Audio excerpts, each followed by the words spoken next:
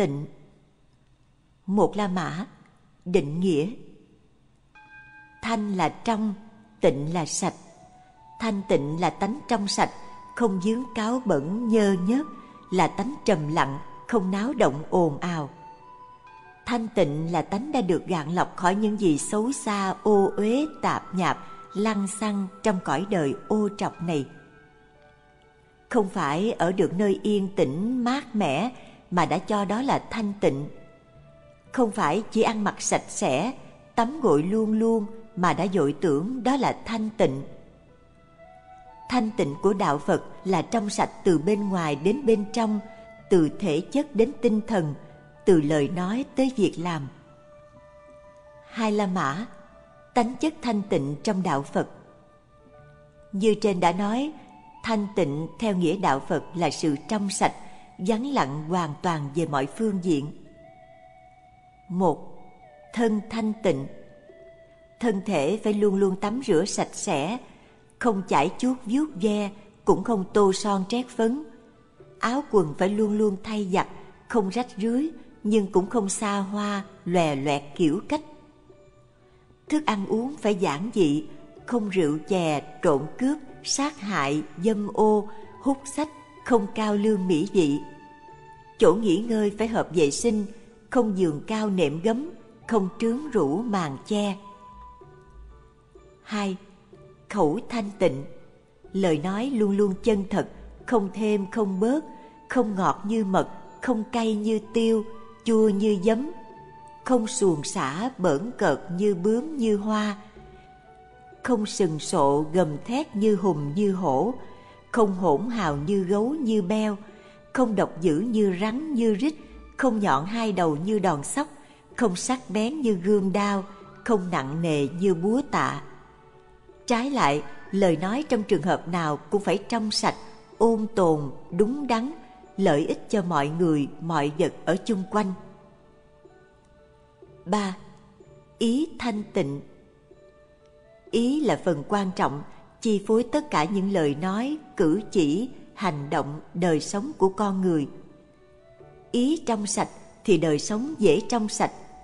Ý nhiễm ô thì đời sống bị xấu xa, hoen ố. Ý trong sạch là thế nào? Là không dẫn đục bởi những tánh tham lam, giận dữ, kiêu căng, si mê, nghi ngờ, mỗi khi ta suy nghĩ tưởng nhớ một điều gì mà tư tưởng ta không bị trộn lẫn bởi những tánh xấu nói trên. Như thế là ý nghĩ ta được thanh tịnh. Ý ta không nhiễm mùi hôi tanh của những tánh ấy, không nghe tiếng gào thét, kêu gào suối dục của dục vọng. Ý ta trong sáng như thủy tinh, vắng lặng như mặt nước hồ im. Ý ta chói sáng mặt trời trí tuệ, thơm ngát hương từ bi. Như thế là ý thanh tịnh. 4. Hành động thanh tịnh Việc làm không vì danh lợi riêng cho mình, không vì thù oán, không vì khoe khoang, không vì dâm ô. Nói tóm lại là không vì dục vọng mà làm, như thế là hành động thanh tịnh. Người có hành động thanh tịnh không mưu mô lừa đảo, không ỷ mạnh hiếp yếu, không ỷ giàu hiếp nghèo, không ỷ thế hiếp cô, người có hành động thanh tịnh không xu nịnh ai không bợ đỡ ai, không sợ hãi ai để phải làm theo ý muốn bất chính của họ. Người có hành động thanh tịnh bao giờ cũng thẳng thắn, đường đường chính chính, không bao giờ có một hậu ý đen tối nào trong lúc làm việc. Ba la mã, công năng của thanh tịnh. Như chúng ta đã thấy, mặc dù con người có phật tánh nhưng vẫn mê mờ và trôi lăn trong cảnh giới tối tăm đau khổ. Là vì con người đầy cả dục vọng, con người bị nhiễm ô, tánh phật bị che lấp dưới bao nhiêu lớp bụi bặm của tánh xấu. Nên chúng ta cần phải có một đời sống thanh tịnh. Ta phải mượn thanh tịnh là một cái chổi để quét bao nhiêu rác rến đang bao phủ lấy ta từ trong ra ngoài, từ trên xuống dưới tánh Phật như nước trong, dục vọng như cáo bẩn làm dẫn đục nước trong. Muốn làm cho nước trong phải cần đến phèn.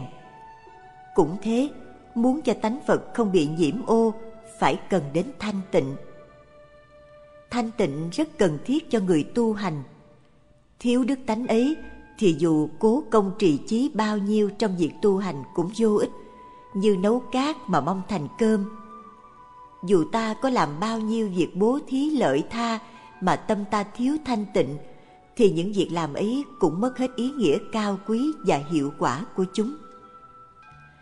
Người thanh tịnh sẽ có một đời sống nhẹ nhàng, thanh thoát, tâm không bận bịu một ý nghĩ đen tối nào, thân khoan khoái, dễ chịu. Người thanh tịnh đi đến đâu như mang theo một vầng ánh sáng, một làn khí trong như tỏa ra một mùi hương mát dịu. Người thanh tịnh chẳng khác gì một đóa hoa sen, gần bùng mà chẳng hôi tanh mùi bùng với cánh trắng, nhị vàng, hương dịu, nó được người đời quý chuộng mến yêu, đặt lên bàn thờ tôn kính như thế nào thì người thanh tịnh cũng được như thế ấy. Bốn la mã gương thanh tịnh của đức bổn sư thích ca mâu ni khi còn tại gia, đức thích ca sống giữa cảnh xa hoa trong cung đàn tiếng địch, trong nệm gấm mền nhung giữa sắc hương dục lạc. Thế mà ngài vẫn không bị nhiễm ô, chìm đắm trong biển xa hoa, xa lầy trong dũng bùn nhục dục ấy. Ngài là hòn ngọc quý, rơi trong bùn mà không nhiễm bùn. Như đóa hoa sen quyết trồi đầu lên khỏi đám bùn thối tha ngài quyết thoát ra khỏi cảnh dục lạc ô uế trong cung vua để sống cuộc đời phóng khoáng, thanh thoát. Trong khi đi tìm đạo, mặc dù sống trong cảnh tối tăm nguy hiểm, ngài vẫn luôn luôn giữ tâm ý trong trắng, bình thản.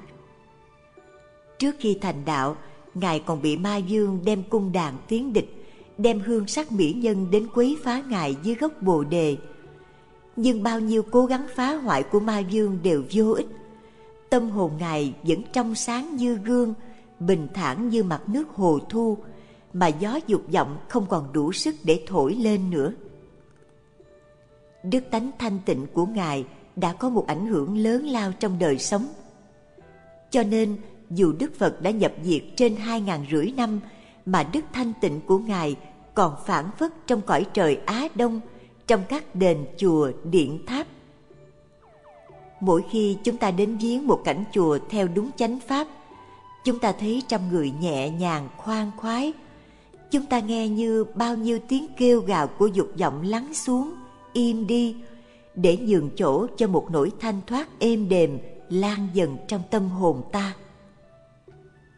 Năm la mã. Người phật tử phải dưỡng tánh thanh tịnh như thế nào trong đời sống hàng ngày?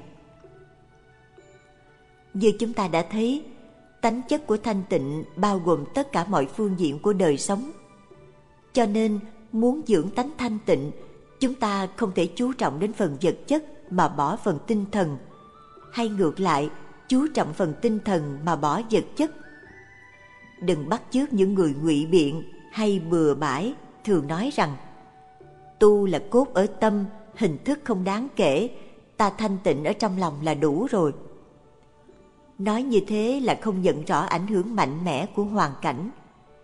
Nếu chúng ta muốn có thanh tịnh mà sống giữa cảnh xa hoa trụy lạc, thường ngày bày ra trước mắt ta bao nhiêu trò ô uế, rót vào tai ta bao nhiêu nhạc điệu, lời lẽ dâm ô, xông vào mũi ta bao nhiêu mùi hương kích thích đặt vào lưỡi ta bao nhiêu mùi vị béo bùi, đắp vào mình ta bao nhiêu tơ lụa mơn trớn nếu sống trong cảnh ấy mà ta không bị nhiễm ô, thì ta là một vị thánh. Những thánh nhân ở đời này thật quá hiếm hoi, cho nên ta rất dễ trở thành quỷ sứ. Hoàn cảnh thanh tịnh bên ngoài giúp ta dễ thanh tịnh bên trong. Tất nhiên trong cõi đời đã gọi là ô trọc này, khó có cảnh hoàn toàn thanh tịnh. Nhưng trong phạm vi tương đối, ta có thể tạo ra hay tìm kiếm một hoàn cảnh tạm gọi là thanh tịnh được. Ta tập sống có vệ sinh, điều độ, thứ tự. Ta tập xua đuổi những ý nghĩ xấu xa, đen tối. Ta tập hành động theo lẽ phải, theo bác ái dị tha. Ta tìm những kinh sách có những tư tưởng trong sáng, tiến bộ để đọc.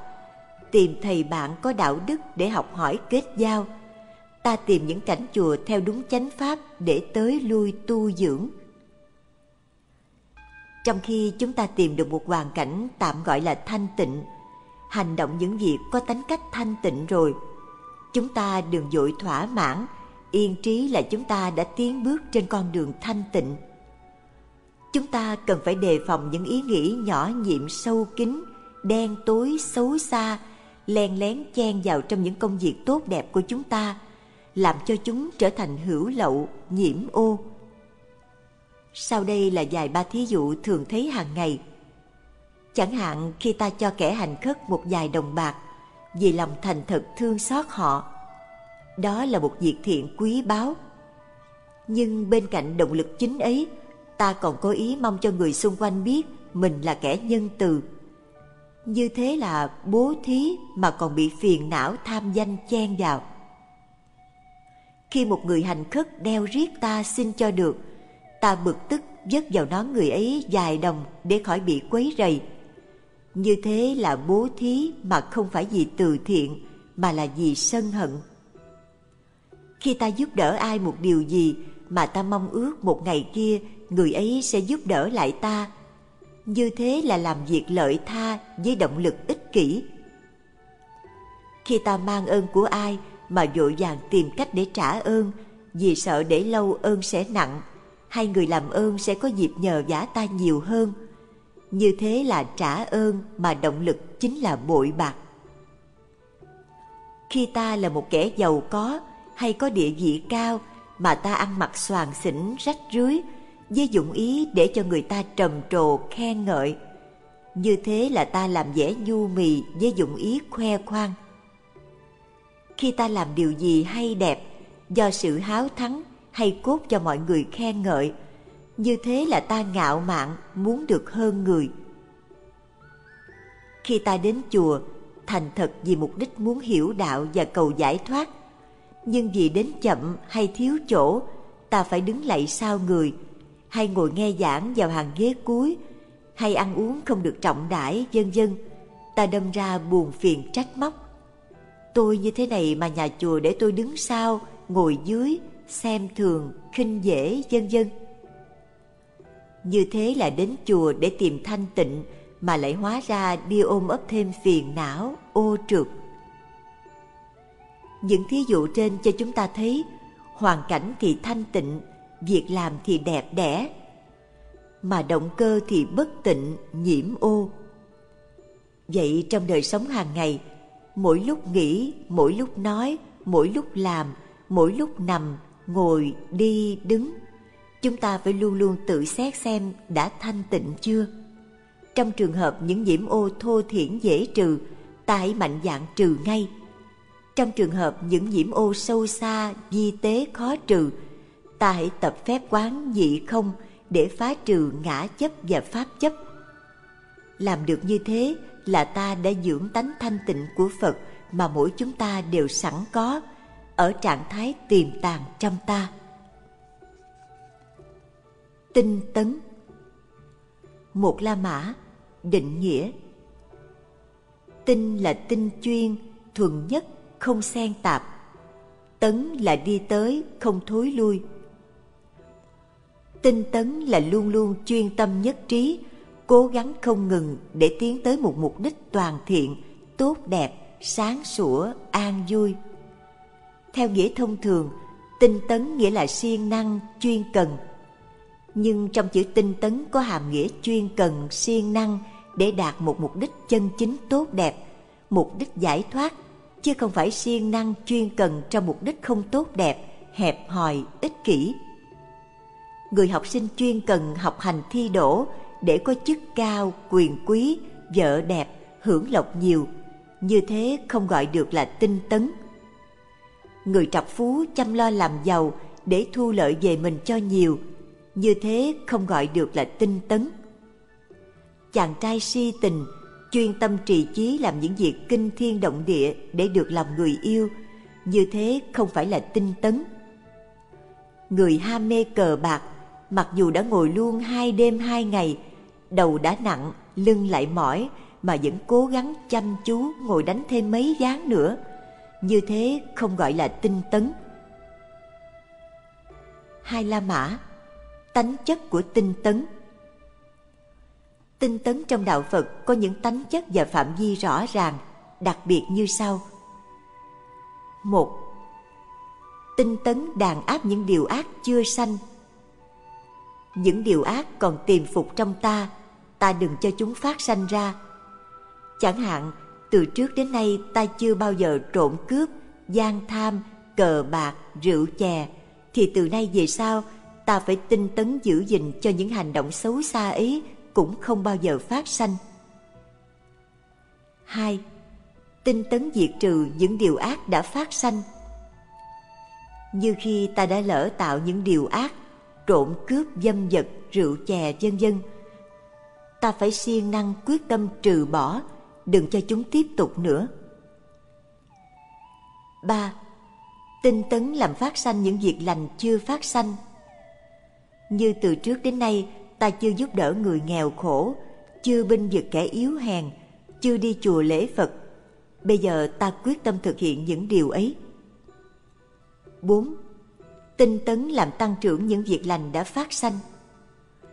Như từ trước đến nay, ta đã giúp đỡ người nghèo khổ, đã binh vực kẻ yếu hèn, đi chùa lễ Phật, tu tâm dưỡng tánh. Bây giờ ta tiếp tục làm những công việc tốt đẹp ấy nhiều hơn nữa. Tóm lại, tinh tấn là siêng năng, chăm chú, cố gắng không dừng nghỉ trong công việc diệt trừ, chặn đứng cái xấu, cái ác và làm phát sanh tăng trưởng cái đẹp, cái thiện với mục đích cuối cùng là sự giải thoát hoàn toàn. Ba La Mã Công năng của tinh tấn Tinh tấn là một động lực mạnh mẽ thúc đẩy ta tiến mau trên đường thiện. Không có tinh tấn thì dù ta có sáng suốt bao nhiêu, có nhân từ đức hạnh bao nhiêu, có dự định bao nhiêu chương trình tốt đẹp, ta cũng không làm được việc gì có ích lợi cho đời ta và cho xã hội. Tinh tấn như dầu xăng trong bộ máy xe hơi. Máy dù tốt, người lái dù giỏi mà không có xăng, chiếc xe hơi vẫn nằm ì một chỗ. Những bậc vĩ nhân, những đấng cứu thế, danh lưu muôn thuở cũng nhờ luôn luôn tinh tấn với một ý chí dũng mãnh quyết tâm giúp ích cho đời thất bại không làm cho họ ngã lòng trở ngại không làm cho họ thối chí nhờ tinh tấn họ đã chiến thắng tất cả từ ngoại cảnh đến nội tâm nhờ tinh tấn, họ đã đạt được những nguyện ước tốt đẹp, cao quý nhất của nhân loại và nêu cao gương sáng cho hậu thế soi chung một nhà triết học phương Tây có nói, Thế giới này thuộc về những ai có ý chí và nghị lực. Tinh tấn chính là ý chí và nghị lực sắt đá của những ai muốn tiến đến địa vị Phật Đà. Người tu hành không có tinh tấn chẳng khác gì kẻ muốn vượt qua bể rộng mà không có thuyền bè. Bao nhiêu những đức tính quý báu đã nêu lên trong tập sách này, từ bi, trí tuệ, bình đẳng, lợi tha, sẽ trở thành những tiếng nói suông không có tác dụng gì cả nếu thiếu tinh tấn. Cho nên, lời dặn cuối cùng của Đức Phật Thích Ca với các đệ tử trước khi từ giả cõi đời để nhập Niết Bàn. Hỡi các đệ tử, hãy tinh tấn lên để được giải thoát. Bốn La Mã Gương tinh tấn của Đức Bổn Sư Thích Ca Mâu Ni Phật nếu ở đời này có một gương tinh tấn rực rỡ cao quý nhất, thì đó là gương tinh tấn của Đức Bổn Sư Thích Ca. Với ý nguyện vĩ đại và cao xa nhất mà người đời chưa ai từng nghĩ đến là tự giải thoát ra khỏi sanh tử luân hồi và tìm con đường giải thoát ấy cho toàn thể chúng sanh. Với ý nguyện ấy, Đức Phật đã cương quyết lìa bỏ cung điện ra đi trong đêm tối – ngai vàng điện ngọc, vợ đẹp con ngoan, không níu chân ngài lại được. Thành cao hố hiểm, quan quân không ngăn chặn được bước tiến của ngài. Thâm sơn cùng cốc, rừng thiên nước độc không làm ngài nản lòng. Dông tố bão bùng, nắng mưa đói rét không làm ngài nhục chí. một khi đã ra đi ngài không bao giờ quay đầu nhìn lại quá khứ yên vui để tiếc nuối con đường của ngài là ở trước mặt là ở trên cao luôn luôn phải nhìn lên bước tới đạt được mục đích này ngài tiếp tục tiến đến mục đích khác luôn luôn để lại sau mình những bước đi đã qua mà không bao giờ quay trở lại. Mỗi bước đi là mỗi bước tiến. Lúc chưa tìm được đạo, ngài quyết tâm tìm cho được đạo. Khi đã tìm được đạo rồi, ngài quyết tâm dẫn dắt chúng sanh lên đường đạo ấy. Tự giác rồi giác tha và đeo đuổi mãi công cuộc ấy cho đến bao giờ giác hạnh viên mãn đó là những công việc đã thành tựu nhờ tinh tấn. Có ai đã có được một ý chí dũng mãnh như ngài, tìm đạo cho đến quên ăn, quên ngủ, chết liệm ở giữa rừng vì đói khát? Có ai đã nói được một câu quyết liệt, đầy nghị lực sắt thép như ngài? Nếu không chứng được đạo quả, thì dù thịt nát xương tan, ta quyết không rời khỏi chỗ ngồi này có ai đã ngồi tham thiền 49 ngày liền dưới gốc bồ đề giữa khoảng rừng già u tịch mà không một phút thối chuyển? Không, không một ai khác ngoài Đức Bổn Sư Thích Ca Mâu Ni. Gương tinh tấn nghị lực siêng năng ấy gây được bao nhiêu ảnh hưởng tốt đẹp quý báu cho đời và nhất là cho các đệ tử của Ngài. Tổ sư Đạt Ma ngồi tham thiền 9 năm, xây mặt vào tường không nói. Ngài thần quan đứng cầu pháp cho đến nỗi tuyết ngập đến đầu gối. Ngài huyền trang vượt mấy mươi vạn dặm đường trong giá tuyết và nắng lửa từ Trung Hoa sang Ấn Độ để thỉnh kinh.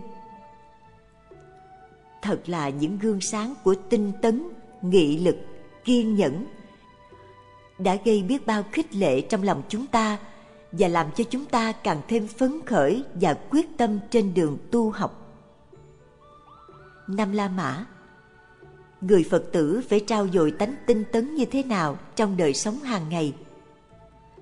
Trước tiên, muốn trao dồi tánh tinh tấn cho có kết quả, chúng ta phải đề phòng những trường hợp sau này. Tánh háo thắng là một tánh xấu có thể làm trở ngại rất nhiều trong công việc trao dồi tinh tấn của ta. Có nhiều người vì tánh háo thắng muốn tỏ ra ta có tài đức hơn người nên muốn làm những việc vĩ đại tày trời.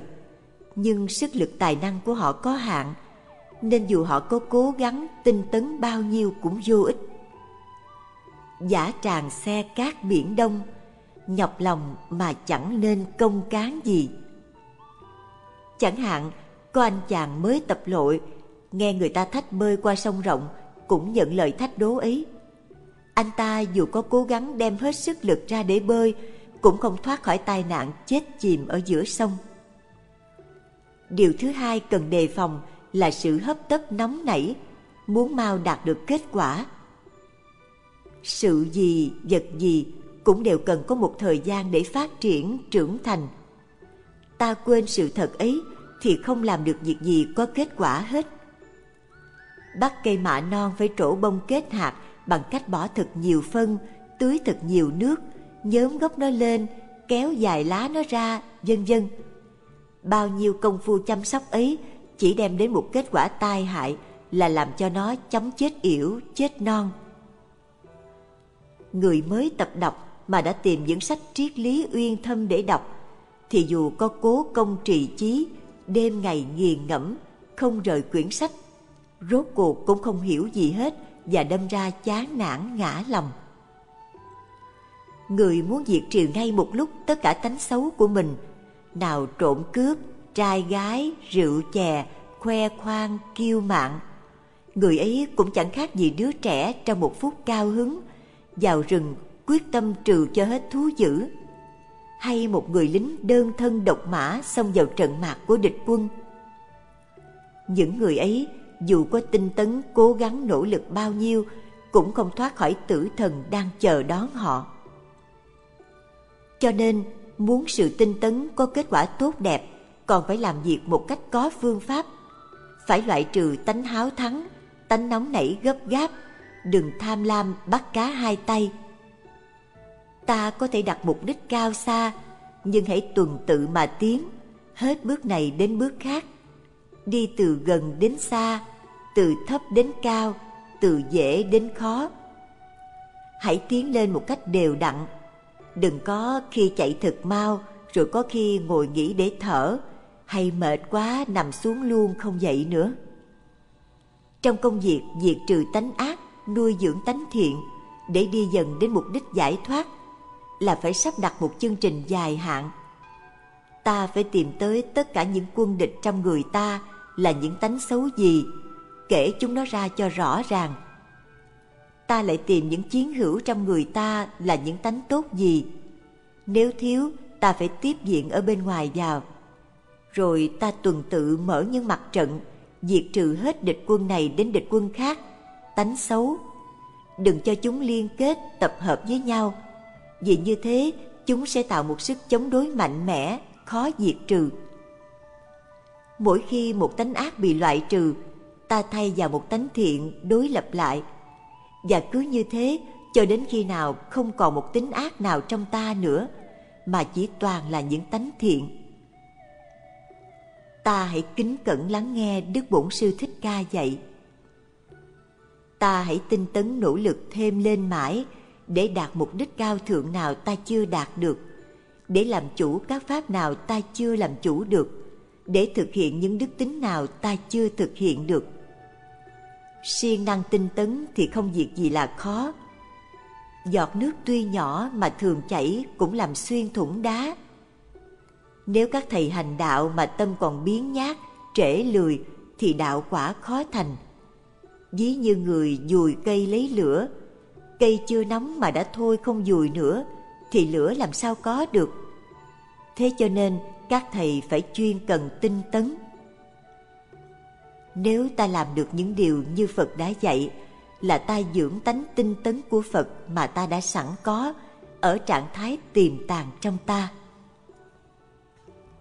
Kiên chí một la mã định nghĩa kiên chí là tánh bền bỉ, dẻo dai, quyết tâm đeo đuổi cho đến cùng, chí nguyện mục đích mà mình đã dạch sẵn. Kiên chí khác với tinh tấn tinh tấn là sự nỗ lực tiến tới, là sự cố gắng ra sức làm việc. Nó có nghĩa như chữ cần của bên nho. Kiên chí có hàm nghĩa tiếp tục luôn luôn, đều đều, dù gặp bao nhiêu trở ngại, khó khăn đến đâu cũng không thối chuyển. Bền chí làm cho thành tựu công việc. Nó có nghĩa như chữ chuyên bên nho. Kiên chí cũng rất cần thiết cho sự tu hành như tinh tấn có nhiều khi lại quan trọng hơn cả tinh tấn nữa. Nho có câu, cần bất như chuyên. Hai la mã, tánh chất của kiên chí như trên đã nói, tánh chất của kiên chí là sự dẻo dai, bền bỉ. Nó khiến người ta bám sát vào công việc không biết mệt, không biết chán, không sợ gian khổ, không lao lung trước một trở ngại nào cả nó chỉ thấy mục đích cần tiến tới, không thấy gì ở chung quanh, không theo cái sau bỏ cái trước, không bỏ dở công việc nửa chừng. Nó đi dần đi dần, không vội vã, nhưng cũng không bao giờ trì hoãn. Như con tầm ăn lá dâu, mỗi khi một ít mà bao nhiêu thúng lá dâu đều tiêu hết. Như nước, mỗi khi một giọt mà đá cũng phải thủng. Sức mạnh của nó chính là ở sự liên tục sự bền bỉ. Ba la mã công năng của kiên trí. Kiên trí là một điều kiện tất yếu để thành công. Công việc càng lớn lao thì kiên trí lại càng phải có nhiều. Không có công việc nào lớn hơn công việc phật hóa. Công việc này đòi hỏi bao nhiêu đời kiếp, bao nhiêu gian lao để chiến thắng ma dương nó phải vượt qua bao nhiêu trở ngại khó khăn. Vì những lẽ ấy, kiên trí luôn luôn phải sẵn sàng ứng phó với mọi trường hợp để động viên tinh thần, đuổi xa mọi chán nản, nghi ngờ, bi quan. Nó như một viên kiện tướng trung kiên, luôn luôn có mặt bên cạnh vị quốc chủ để đề phòng mọi sự phản trắc, mọi sự giấy loạn. Nó như một vị lương y giỏi, có thể đuổi xa mọi bệnh hoạn giữ cho thân chủ của mình luôn luôn được tráng kiện, đủ sức lực để tiến hành mọi công việc ở đời. Không có kiên trí thì mọi công tác sẽ bị bỏ dở nửa chừng và tài năng đều trở thành vô dụng. Bốn la mã, gương kiên trí của đức bổn sư thích ca. Đức phật thích ca, sở dĩ được gọi là đấng đại hùng đại lực vì ngài đã thắng được bao nhiêu trở lực trên đường đi đến địa vị phật. Mà những trở lực ấy nào phải ít ỏi gì? Chúng rộng lớn như trời như bể. Vượt qua được chúng còn ngàn lần khó khăn hơn vượt khi mã lạp sơn. Thế mà ngài vẫn bền tâm chiến đấu vững lòng chịu đựng, dẻo dai tiến lên, không một chút thối chí, nản lòng. Trên đường ngài đi chỉ có những bước tiến tới, không có một bước trở lùi khi còn ở trong cung điện, phải chiến đấu chống những tập quán xấu xa, mục nát, trụy lạc, những dây nhợ rắn chắc của tình yêu ích kỷ của gia đình khi ra đi, phải chiến đấu chống thiên nhiên hiểm độc, chống si mê dày đặc tối tăm của cõi đời sau khi thành đạo, phải chiến đấu chống những mưu mô thâm độc, những oán ghét căm thù của bao nhiêu ngoại đạo đầy dẫy đang hoành hành ở xứ Ấn Độ lúc bấy giờ. Trước bao nhiêu trở ngại ấy, Ngài đã không một chút sờn lòng nản chí. Ngài cương quyết thực hiện cho đến cùng chí nguyện lớn lao của mình là tự giác, giác tha, giác hạnh viên mãn. Gương kiên chí vững bền vĩ đại ấy thật đáng cho muôn đời soi chung, nhất là đối với những người con Phật là chúng ta. Năm La Mã Người Phật tử phải nuôi dưỡng rèn luyện đức kiên trí như thế nào trong đời sống hàng ngày? Như chúng ta đã biết, tập làm người đã là khó, tập làm Phật lại càng muôn lần khó hơn. Công việc khó khăn ấy đòi hỏi một đức kiên trí hết sức lớn lao. Thiếu đức tánh ấy, chắc chắn chúng ta không bao giờ đi đến kết quả. Vì thế, trong mọi công việc hàng ngày, dù nhỏ nhặt bao nhiêu, chúng ta cũng phải luyện tập sự chịu đựng bền bỉ.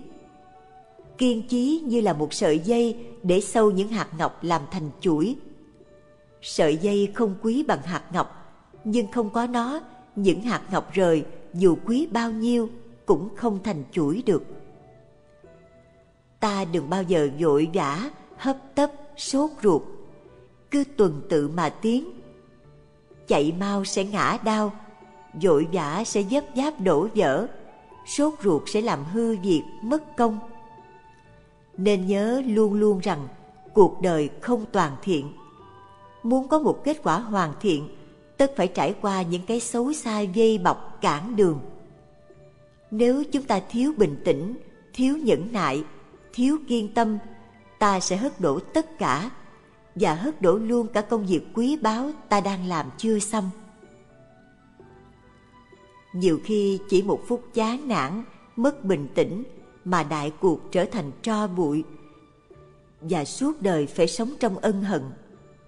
Người nuôi dưỡng, luyện tánh kiên nhẫn như kẻ trèo thang cao phải cẩn thận từng cử chỉ, tay nắm, chân bước. Hễ sẩy chân xúc tay là nguy hiểm đến tánh mạng. Hễ dừng lại nửa chừng là bao nhiêu nấc thang mình đã bước trở thành vô dụng vì mục tiêu không đạt đến. Người tu hành đừng tưởng rằng khi mình làm việc thiện, việc tốt thì mọi người sẽ hoan hô, tán thành mình. Không đâu, trái lại, có nhiều khi mình còn bị người đời tấn công phá tan mình nhiều hơn nữa. Càng đi đến gần thành công chừng nào thì trở ngại lại càng nhiều thêm chừng ấy. Tục ngữ ta có câu, càng cao danh vọng càng dày gian nan. Trong kinh Phật cũng thường dạy, Phật cao một thước, ma cao một trượng. Công việc tu hành của chúng ta cũng như cuộc chạy đua có trở ngại, càng đến gần mức trở ngại càng nhiều, rào càng cao, hố càng hiểm. Vậy cho nên, hành giả càng bước dài trên đường đạo, càng thu lượng nhiều kết quả, lại càng thận trọng, lo toan, càng động viên thêm nhiều nghị lực, sức chịu đựng bền bỉ, trường kỳ.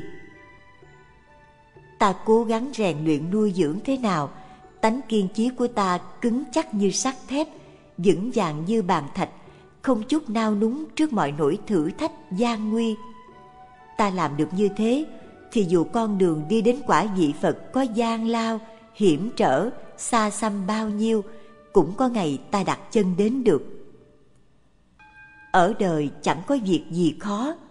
Người ta lập chí phải nên kiên. Ba la mã phần kết. Kết quả tốt đẹp của người dưỡng tánh, tự tại giải thoát. Những đức tánh chúng ta đã thấy ở phần chính, từ bi, trí tuệ, bình đẳng, lợi tha, nhẫn nhục, hỷ xả, thanh tịnh, tinh tấn và kiên trí là những đức tánh căn bản đã đưa Đức Bổn Sư Thích Ca đến quả vị Phật. Nếu kể thêm những đức tánh phụ khác thì không biết bao giờ cho hết. Nhưng mặc dù không kể ra một cách rành mạch, những đức tính ấy vẫn đã được nhắc đến, điểm qua trong khi chúng ta bàn đến những đức tính căn bản ở trên, chúng có liên lạc mật thiết với nhau cả. Đứng về phương diện tuyệt đối mà nói, thì đức tánh nào cũng có hàm chứa, bao gồm những đức tánh khác. Chẳng hạn như trong từ bi vẫn có bóng dáng của trí tuệ, bình đẳng, lợi tha, hỷ xả. Trong hỷ xả vẫn có bóng dáng của nhẫn nhục, lợi tha, từ bi, thanh tịnh, tinh tấn. Nhưng khi chúng ta tách riêng một đức tánh nào để nói là chúng ta muốn soi sáng riêng khía cạnh ấy, chiếu lớn nó ra để nhìn thấy cho rõ hơn. Vậy thôi. Thế nên, người ta có thể trưởng dưỡng cái đức tánh căn bản mà có thể thành tựu luôn những đức tánh khác. Thí dụ, chúng ta chỉ chuyên tâm trao dồi tánh từ bi và trí tuệ mà những đức tánh khác tự nhiên phát lộ ra. Nhất là đối với những người sơ cơ mới bắt đầu tu dưỡng thì nên lựa những đức tánh tương đối ít khó khăn mà trao luyện trước. Chẳng hạn tập tánh nhẫn nhục, hỷ xả hay tinh tấn lợi tha trước, rồi dần dần luyện những tánh khác sau. Như thế, ta sẽ tránh được sự rợn ngợp vì thấy nhiều quá mà không dám khởi sự tu hành hay bỏ dở nửa đường vì sợ gặp nhiều khó khăn quá. Như người thấy núi cao quá không dám leo hay mới leo lên nửa chừng thấy hiểm trở quá nên leo xuống. Trong mọi công việc, khó nhất là những bước đầu. Ta vượt qua những khó khăn ban đầu và thấy có kết quả, ta sẽ phấn khởi và mạnh dạn tiếp tục tiến tới, lâu ngày trở thành thói quen. Điều quan trọng nhất là phải kiên tâm, trì chí, luôn luôn cố gắng vươn lên. Hay nói theo danh từ đạo Phật là phải tinh tấn. Với tinh tấn, không có gì là không làm được. Trong việc lập chí để thành Phật, tất nhiên sự kiên tâm phải bền vững như sắt đá. Không năm bảy tháng, đôi ba năm mà ta đạt kết quả. Cũng không phải dài ba mươi năm hay một đời mà ta có thể thành Phật. Công cuộc tu hành phải tiếp tục từ kiếp này sang kiếp khác, từ đời này sang đời khác Mặc dù con đường đi đến mục đích cuối cùng lâu dài, dịu dợi như thế, nhưng mỗi một chặng đường mà ta vượt qua được là một thành công, đem lại cho ta nhiều phần thưởng xứng đáng trong lúc ta còn làm người. Chẳng hạn, nếu ta chưa có được từ bi trí tuệ tuyệt đối như Phật, thì trong phạm vi tương đối, ta cũng có được một tình thương rộng lớn, một trí sáng chơn chánh, tô điểm cho cuộc đời ta có ý nghĩa. Nếu ta chưa có được tánh hỷ xả thanh tịnh tuyệt đối như Phật, thì trong phạm vi tương đối, ta cũng có được nỗi vui vẻ trong sạch, làm cho đời ta thanh thoát nhẹ nhàng. Nói một cách khác, tánh Phật càng nhiều và càng lớn mạnh trong ta, thì ta càng thoát dần khỏi ngục tối tâm và đau khổ của đời. Tháo gỡ dần xiềng xích, dây nhợ mà ma dương chúa tể của dục vọng và xấu xa đã trói buộc ta từ bao nhiêu kiếp trước với sự phát triển của tánh phật, ta dần dần lấy lại được tự do mà ta đã mất, làm theo ý nghĩ chơn chánh của ta, chứ không bị dục vọng sai sử, hành hạ như một tên nô lệ. Tự do càng mở rộng, ta lại càng vượt ra ngoài những chi phối của hoàn cảnh. Đến trình độ mà ta đã vượt ra khỏi sự chi phối của thời gian và không gian, sự múa rối của quỷ vô thường, sự đe dọa của cái dòng lẫn quẩn luân hồi đến trình độ mà ta có thể làm tất cả mọi việc không bị ngăn ngại, sống một cuộc sống vĩnh cửu, an vui, trong sáng. Đến đó là ta đã được tự tại giải thoát. Ta đã đến đích cuối cùng. Ta đã thành phật.